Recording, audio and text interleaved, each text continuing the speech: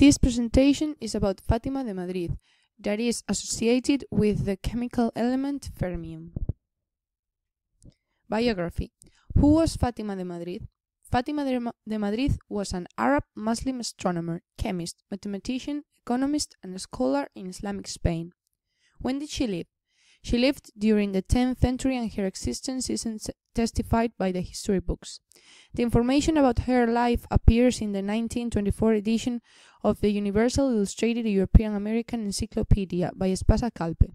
This is the eldest source about this character nowadays. Where did she live? Although information about her exists, it is believed she is an imaginary character. This information says she spent most of her life in Cordoba, which by the time was a worldwide cultural center of knowledge. Achievements She worked with his father, the astronomer Maslama al-Majriti.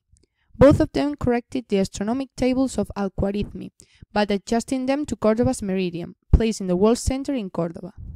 They worked on the calendar and calculated the position of some celestial bodies like the sun, the moon, or the planets. They also calculated eclipses.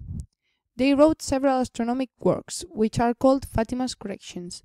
One of her books is conserved in the El Escorial Monastery's library, called Astrolabius Treatise.